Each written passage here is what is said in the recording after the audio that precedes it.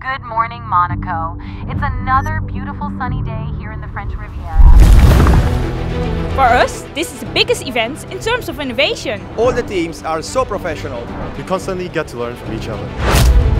I would like to know what is the most innovative aspect of your boat? Our main aspect is our modular design. So we have a Torqeedo 4 kilowatt motor. The most innovative aspect of our boat is core because it can be hydrophobic and can also resist to fire. What we're incorporating here is the luxury aspect. You're getting a lot of space.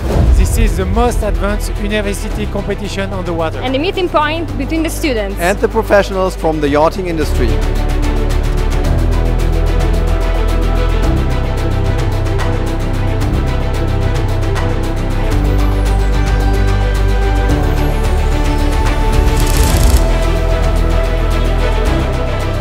You can sense the tension here from the launching ramp as the pilots are getting ready for four hours of endurance racing.